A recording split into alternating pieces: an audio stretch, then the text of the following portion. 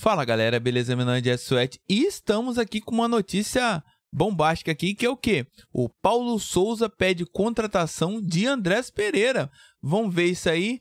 Antes de continuar o vídeo, não esqueça de curtir no início do vídeo, porque sua curtida é relevante para anunciar, espalhar mais a palavra, comentar abaixo e compartilhar esse vídeo. E se inscreve aí também.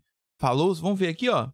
É, Paulo Souza pede contratação definitiva de Andrés Pereira, aqui ele é, foto é, Marcelo Cordes e tudo.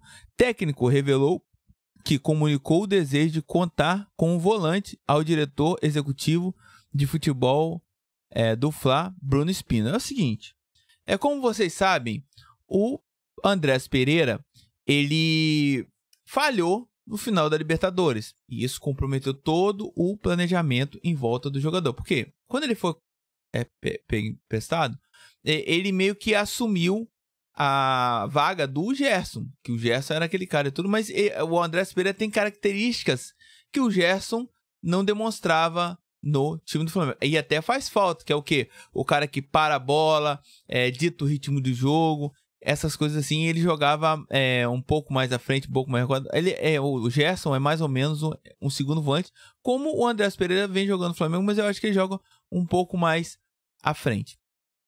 É, ele, aí depois veio a falha da, do final da Libertadores, que deu o título para o Palmeiras, né?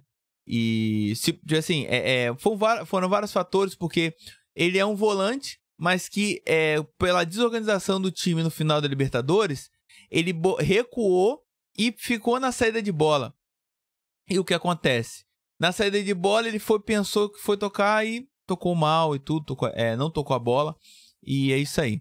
E isso, eu acredito que isso é, comprometeu, botou em dúvida se é, o Flamengo compra ou não compra o Andrés Pereira. E também tem um caso, aí depois teve, depois do final da Libertadores, teve aquele apoio do pessoal ao Andrés Pereira, dos torcedores. Aí foi passando o tempo, Uns torcedores apoiavam mais e outros torcedores apoiavam menos. Até teve gente que, que é, vaiou durante o jogo. Eu acho que você vaiar um jogador durante o jogo é complicado porque você compromete tudo é, na partida. Porque, por exemplo, se o jogador tem que acertar, a gente tem que. Eu acho assim, torcida tem que torcer para o jogador, mesmo estando no momento ruim. Entendeu? A gente pode ficar indignado no final da partida, vaiar o time, mas vaiar durante o jogo é você tá entregando é o, o é, tá entregando a performance para o adversário. É assim que eu penso. A, a nós, a torcida, somos é, focados em paixão, mas eu não, eu não consigo entender por que, que a torcida vai vaiar um jogador durante, quando ele toca a bola. Que nem, por exemplo, que nem o, o Gustavo Henrique, né? Usando exemplo também, que é, foi muito vaiado. Ele é um zagueiro. Ele tá no momento ali, se ele errar, como ele já vinha errando, ele perde a bola ali e faz gol. Não faz sentido a torcida, a torcida vaiar o jogador durante o jogo. Tem que apoiar. Depois do jogo, vaia. Depois do jogo, tipo assim, ah, pode vaiar depois do jogo. Pode vaiar o time depois do jogo. Mas durante o jogo é apoio.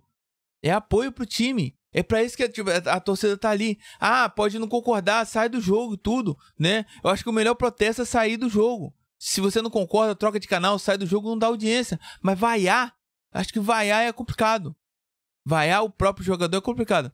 Aí a torcida vinha vaiando e tudo assim. Aí no Campeonato Carioca, teve aquelas paradas e tudo assim de, de, Até teve discussão, a gente até fez, fez vídeo aqui no canal. Outras pessoas fizeram vídeo aqui no. É, outras pessoas fizeram vídeo falando também. E, e, e vinha certo. E depois o Flamengo foi e acertou o acordo com o Manchester United que te, esse acordo teve muita crítica dos torcedores, que é o quê? O Andrés Pereira é pagar 10 milhões de reais por 70% do jogador. Então, é, é, um valor alto, né? Mas é um valor que, é, é por, por, um jogador que é, é né, todo esse histórico não estava é, não tava indo bem, não tinha, não estava né, tendo ali, é, é, tava tendo as oportunidades, mas não tava correspondendo. Então, é, é, é depois teve o, o, falou o seguinte, ah, que o Flamengo vai desistir do Andrés Pereira, ele vai poder voltar para o Manchester United e também teve a confirmação de notícias que o técnico do Manchester United estava contando com o Andrés Pereira para jogar lá no Manchester United, tudo. É um técnico novo, né? Acho que o, o, o técnico anterior não, é, não tava contando muito com ele, mas o, disse que o técnico novo vai contar. Por exemplo, o, o time do Manchester United tem saídas já é, é, certas, igual, por exemplo, o Drogba vai sair. Eu não sei, eu acho que o Andrés Pereira pode mais ou menos ali entrar no lugar do Drogba. Do, é, do Pogba, né? Falando Drogba. Drogba já parou de jogar. Do Pogba e tudo. É, mas é o seguinte. Aí agora, na coletiva de imprensa ontem, o Paulo Souza vem e fala isso aqui. É, eu gostaria de ter a continuidade. Já falamos com Bruno Spindle, mas não depende só de nós, depende do jogador, do seu clube, Manchester United. No jogo contra a Católica, Andreas fez um jogo extraordinário. Para mim, um dos melhores sem dúvida. Hoje ele foi determinante, como o Hugo, disse o treinador em coletiva de imprensa concedida logo após o embate. Ontem, foi um jogo incrível do Andrés Pereira. Ele falou com a Católica, ele só viu que ele vem numa evolução. Mas eu fico pensando, é, assim, vocês concordam comigo? Será que realmente o, o, treinador tá ali no dia a dia com ele? Então o treinador acredita nele. E se é um jogador que o treinador acredita, e se for para dar é, mais continuidade ao time do Flamengo, a continuidade essa essa sequência de vitórias que o time está tendo, não só na Libertadores, mas o time está tendo é, vitórias também no Campeonato Brasileiro, eu acho que deve seguir a, também a orientação do técnico. É, se o Paulo Souza for ficar mais tempo na, no clube, eu acredito sim que é a orientação dele, do jogador que ele quer eu acho que deve ficar. E também pela quantidade de jogos que o, o Flamengo vai ter no vai ter durante o Campeonato Brasileiro, eu acho que é, um jogador da qualidade do Andrés Pereira é, seria legal ficar. Como ele disse, a gente não sabe se o jogador quer ficar mais e se o Manchester United quer contar com ele. Né? Mas, assim, até então tinha tem o Manchester United que é ele, e também existia outras possibilidades de outros times contratar, que nem, por exemplo, se surgiu, ah, o Palmeiras, né? Tem até torcedor que fala assim, ah, ele tem que ir pro Palmeiras mesmo, entregou o título pro Palmeiras. Mas é isso, gente, ó. É... Eu não sei se, igual, por exemplo, se o Paulo Souza realmente for ali, dar sequência pro trabalho, e o, o, o Andrés Pereira é um jogador que dá continuidade, para ele dar continuidade no trabalho, eu acho que é, é seria legal porque ele é um jogador do Paulo Souza, correto? Mas se for pra, tipo assim, ah, vamos supor, aí é, é igual aconteceu com quando o Jorge Jesus saiu. O Jesus, Jesus pediu a contratação do Pedro e o Flamengo pegou emprestado, contratou, só que o Flamengo, porque tinha assim, o Jorge Jesus queria um, um jogador de área. E o Pedro é esse jogador de área. Só que o, o Flamengo não. O, até então, até agora, né? Até tava conseguindo acertar com o Paulo Souza, mas no jogo passado não acertou. Até então, não conseguiu é, acertar Pedro e Gabigol na, é, ali no ataque. Não conseguiu. Então, aí vamos supor que fica com o jogador, jogador caro, é, por 70% do jogador, é, fica com o jogador, mas e aí? É, é, vai dar sequência ao trabalho? É, é o que tá. Porque pela torcida já trocaria já o Paulo Souza.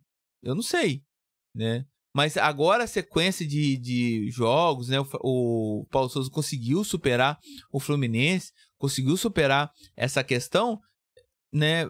Tomara que o, o time jogue é legal.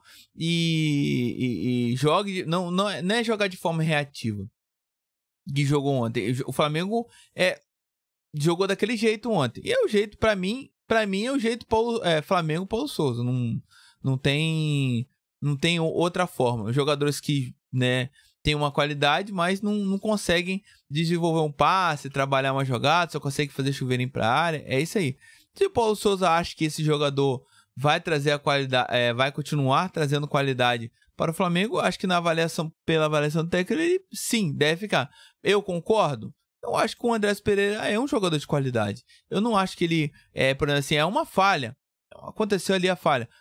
Como torcedor, a gente fica puto. Mas olhando a questão técnica, o, o Andrés Pereira tem um passe bom, tem é, é um jogador técnico de qualidade, é um jogador que pode fazer ali é, é, o volante, pode, ele, ele, pode, assim, ele tem uma velocidade boa, ele consegue é, fazer, fazer esses lances e tudo, assim, dar um passe legal, consegue bater falta, que o Flamengo tem falha, mas é, tem, tinha falta, mas na questão, é, nessa questão assim, a torcida tem que apoiar, é, é, é o, o fato, né? É o fato. Então é isso, gente. Vocês, e aí? Vocês concordam com o Paulo Souza que o André Pereira tem que ficar no time do Flamengo? É, você acha que o, o, Paulo, o, o Pereira tem muito a agregar, dando continuidade no time do Flamengo? Não se esqueça de curtir, compartilhar e se inscrever no canal. Muito obrigado pela audiência de vocês, um forte abraço, tudo de bom, falou e até mais. Vídeo 9 dias aqui para vocês.